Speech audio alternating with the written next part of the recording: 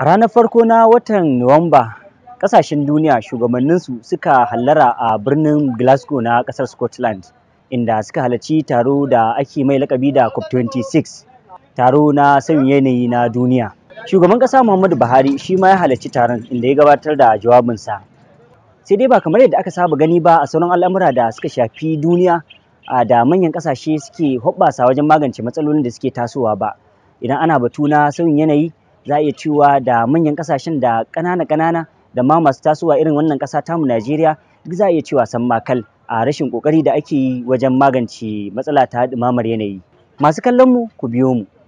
Domin kuwa a babban taron da aka yi a birnin Paris a shekarar 2015 kan wannan matsala an bujiro da wasu buƙatu da za su rage fitar da gurɓatacciyar iska da ke taka muhimmiyar rawa wajen ɗumamar yanayi.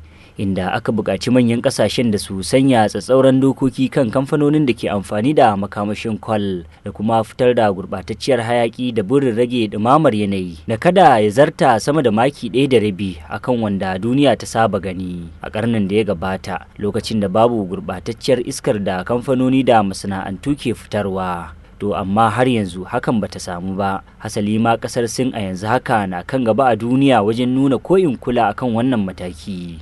Mu a nan najeriya ma iya cewa muna daga cikin waɗanda muka fi kowa ɗanɗanar matsalar da sauyin yanayi ke jawowa saboda dalilai da dama. Matsalar tsaro da mafi yawanci rikicin makiyaya da manoma ya fara haddasa ta da kuma tsadar abinci duk suna da alaƙa da bushewar dazuka da kuma fari. Ga kuma yawan ƙona itace da gawayi da ke haddasa mana kurarowar hamada a yankunanmu duk da cewa akwai dokoki a rubuce har ma hukuma kacokan da gwamnatin tarayya ta kafa domin magance hakan. Yawan kone-kone da muke yi babu gaira babu dalili da rashin wutar lantarki da ya tilasta wa al'umma amfani da injina masu fitar da hayaki haɗi da hauhawar farashin makamashin gas da ya ƙara ɗora mutane gaba gaɗi kan hanya wajen ci gaba da amfani da itace. Na ɓarnata wani labule da ubangiji ya samar mana wato ozon leya da ke tace wasu sinadarai a cikin hasken rana. Rashin wannan labule kan haddasa yawan zafi daga rana zuwa duniya da kan kuma haifar da cututtuka a jikin ɗan adam kamar cutar kansa tsallar wutar daji da kuma ambaliyar teku da ke yi wa ƙasashen kan tsibiri barazana. Shugaba buhari a jawabin da yi talatar makon farko da fara gudanar da taron da aka gudanar a glasgow ya ce lalle matsalar sauyin yanayi ta haifar da kurarowar hamada a arewa fari da kamfar ruwa da ya haifar da bushewar ƙasa a jihohin da ke tsakiyar najeriya da kuma ambaliyar teku sakamakon narkewar kankara a dalilin ɗumamar yanayi da ya shafi jihohin da ke kudu kusa da gabar teku. Baya ga jaddada cewa najeriya a shirye take ta ba da nata gudunmawa wajen tabbatuwar muradin karni na sha uku na daidaita sauyin yanayi nan da shekara ta 2060 ya kuma a bakin shugabannin nahiyar afirka. Ya ci musu albasa inda ya bayyana cewa akwai kyakkyawan tanadi da nahiyar afirka ke yi wajen maido da busasshiyar ƙasa sama da kadada miliyan 100 zuwa ƙasa mai ni'ima da za a ci gaba da cin moriyarta a fannin noma. Dr sabitu sa'ad masani ne daga tsangayar ilimin muhalli na jami'ar bayar a jihar kano.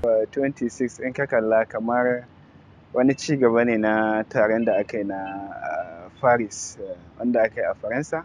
Kuma shi wannan taro ne da ya haɗa ƙasashe da suka sanin wani agreement da ake kira treaty tun shekara ta 1994 so iya waɗannan ƙasashen da suka sanin wannan agreement na treaty su ne kaɗai ƙasashen da aka yadda kuma za su iya zuwa wannan taro.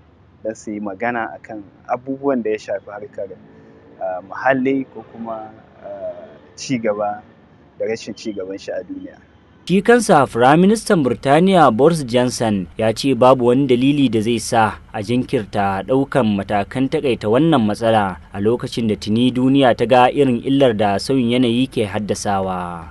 Make sure at COP next week in Glasgow. Mun kai ziyara sashin 'yan babbaka na mayankar abbatuwa wajen da kusan ya fi ko'ina a nan Kano fitar da gurɓataccen hayaƙi mai ɓata muhalli kuma galibin masu sana'a a wajen matasa ne.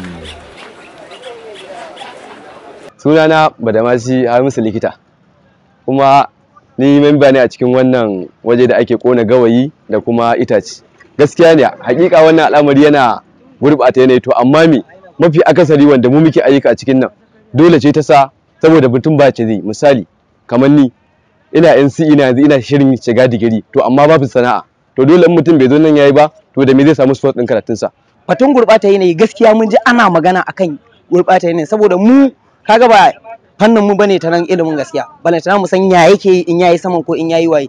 Amma ko a nan masu shaguna kusa da mu suna dan complain akan hayakin yana takura musu bayan da za su ne da sun tashi.